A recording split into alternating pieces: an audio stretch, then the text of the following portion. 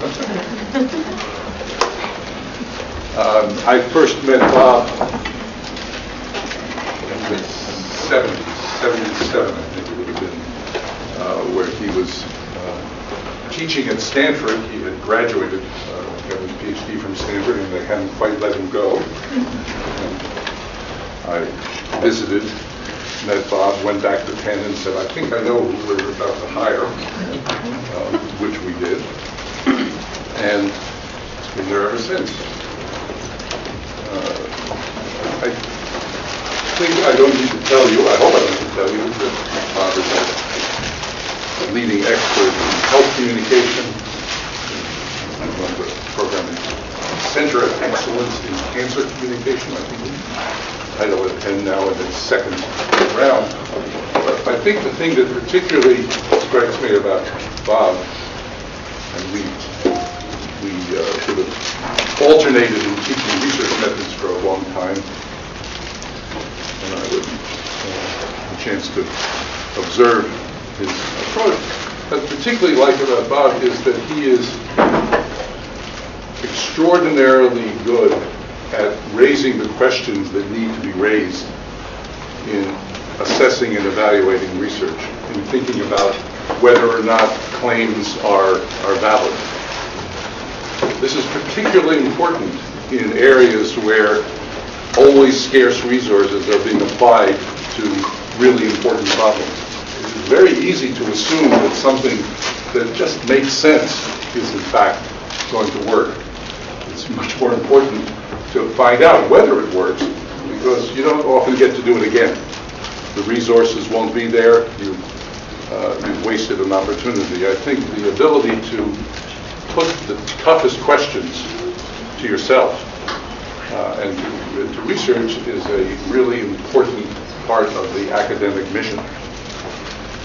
Those of you, and I look around the room, it's most of you, uh, who have taught in class have heard me say that the responsibility of academics in research is to play against the house, to make it tough for yourself, not easy. And when I say that, Bob in some ways is my role model. Someone who looks at data and says, make my day. I think he'll make our day.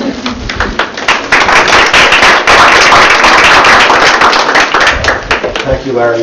Uh, uh, We spent a long time uh, together, and I'm sure I made trouble for you at some point. You have, The, uh, But I- I'm actually, I- my career has had various phases in it, Uh, and I'm going to talk about stuff I've been thinking about over the last few years more than um, some of my other major areas of work. I spent a long time working in developing countries on uh, both education and nutrition and agriculture and particularly uh, health uh, communication programs. We spent a fair amount of time in the U.S. working on interventions, evaluation of interventions. And I'm actually not going to talk about that very much today. I'm really going to talk about a different area of work, and as you can see, um, it's an area I've been struggling with trying to make sense of how is it you could possibly make sense out of um, exposure to ordinary media content and really argue it has effects. Now, it's too sensible that it has effects, but it's very tempting, of course, to just assume that that's true. Um, but the question is, how do you actually make a case for it? Um, so I'm interested in a certain class of media effects. Uh, and others of you will be interested in different classes of media effects. And so this is not a statement about the only good sorts of media effects to look at. It's just what I'm interested in. So um, I'm interested in effects that happen on a large scale. Lots of people, large populations. I'm not interested so much in, in stuff that happens on a small scale in a focused way. Um, that occur in, a, in real-world contexts, um, sort of ecologically balanced studies. I, I want to make sure that I'm looking at something that's realistic. Um, and I'm interested in behavior as an outcome, not just cognitions. Um, and so I'm sort of setting myself against these standards, saying you've got to be able to uh, make a case for, for, for research and say I'm showing effects on real in a real large-scale context. In developing studies, um, developing methods to, to assess these effects, I have some some, some assumptions, and I, I'm going to skip over really um, a lot of discussion about theoretical mechanisms in this, in this portion of the talk, uh, because um, uh, I have almost no data about those mechanisms, and so I could talk about them and say, oh, there are all these mechanisms, but I'm not going to, since I I don't have much data to test those, I'm not going to talk about them very much. But here's the thing, um, I'm interested in cumulative effects. That is, a repeated exposure over time through lots of sources, not just a single exposure. Um, uh, Because my guess is most people, if they're affected by media sources, are affected by repeated exposures over time uh, through multiple sources. So I'm interested in cumulative effects, stuff that adds up. I'm interested a little bit in direct effects. That is, I, I send a message to you, you see it, you, you learn it, you change. But mostly I'm not interested in direct effects. Uh, because I think a lot of the effects we see happen not through um, simple, I see it, I learn it, I do it, but much more through social processing. Is, our social networks pick them up, they reinforce them, they modify them, they, they reject them. Uh, there's much more of a social process through which effects occur, and so we need to be able to study those social processes, or allow them to happen if we're going to look at effects. Similarly, effects may occur through um, institutional uh, processes. That is, um, the way that a media campaign may work is not by affecting um, individuals um, who learn, see those messages and learn them, but rather uh, uh, through the process of getting schools to um, uh, change what they do uh, by introducing anti-drug campaigns into schools is one example, or uh, changing, getting rid of, getting rid of vending machines we were talking about this morning. Uh, uh, we were talking about this morning uh, from a, um, a, a nutrition campaign. So it's not that people change their behavior, it's that schools change their behavior.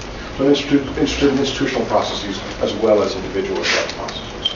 And the notion is that those effects are almost surely moderated uh, by the social networks, as I mentioned a moment ago, and the effects probably differ among subgroups, so we can't assume the effects are universal, but that they likely differ among subgroups. And, uh, and particularly for my colleagues, um, and I'm sure true for some of you here, I'm actually not all that interested in content. Um, I think that uh, exposure is what matters. Uh, now, I'm not saying that it doesn't matter at all what content is, but we spend a tremendous amount of time trying to modify the message, get it exactly right, get the arguments just right. And I spend some of my time doing that too. But deep down, I think that the, what matters is the sheer amount of exposure that people get to a broad class of messaging, broad content area. Um, rather than, we spend too little time, to be honest, worrying about exposure. We worry much more about the shape of the message. And I think that's probably a- an issue. So all those things are in my mind as I go forward trying to think about how to study effects. So there are really two large categories of, of effect research that I've done. One, which actually I referred to some, um, are the effects of large-scale deliberate interventions. As I- As I said, spent much of my career looking at big, big